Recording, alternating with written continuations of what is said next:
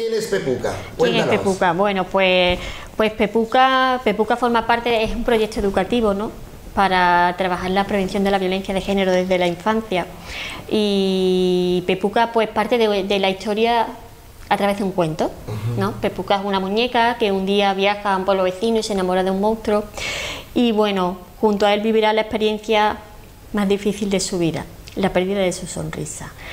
Pero bueno, contará con la inestimable ayuda de unos personajes muy queridos que son sus queridas mascotas que le acompañarán en esta increíble aventura.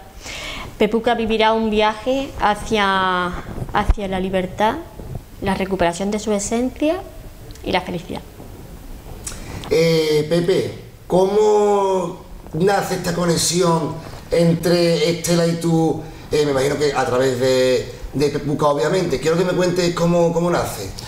Bueno, a ver, eh, quisiera hablar un poquito sobre Pepuca primero. Eh, Pepuca no está sacada de un cómic de Marvel, está sacada de la vida misma, del corazón y de la experiencia vivida por Estela y, bajo la fina piel de plastilina de Pepuca eh, guarda pues las claves para combatir el, bueno, la violencia de género y, el machismo.